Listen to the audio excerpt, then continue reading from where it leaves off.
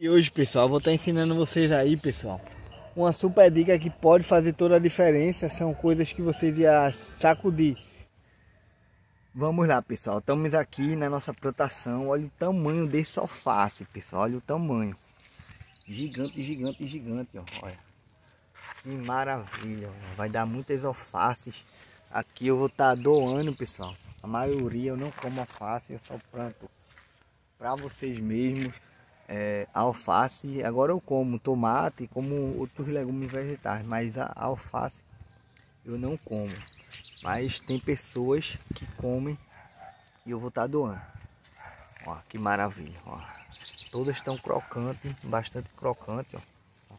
As folhas crocantes, você só colhe o alface, pessoal, foi um dia de chuva, no caso hoje, e ela é com as folhas crocantes.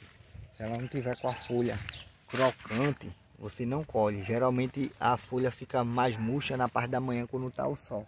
Você deixa para estar tá colhendo na parte da tarde. Então vou estar tá botando agora o celular aqui no tripé para a gente começar a fazer essa colheita, fechou?